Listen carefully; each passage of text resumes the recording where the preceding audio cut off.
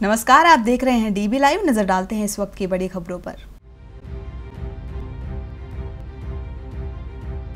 देश भर में फ्री टोल सेवा खत्म, नाकों पर आधी रात से शुरू हुई टैक्स की वसूली, कई जगह लगी गाड़ियों की लंबी कतारें।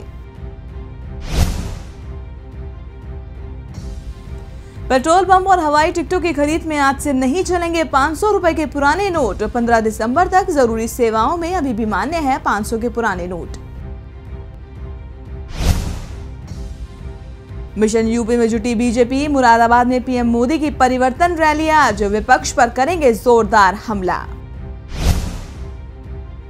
मुंबई के गोवांडी में लगी भीषण आग, खाक हुई, सौ से ज़्यादा झुग्गियाँ, किसी के हताहत होने की खबर नहीं।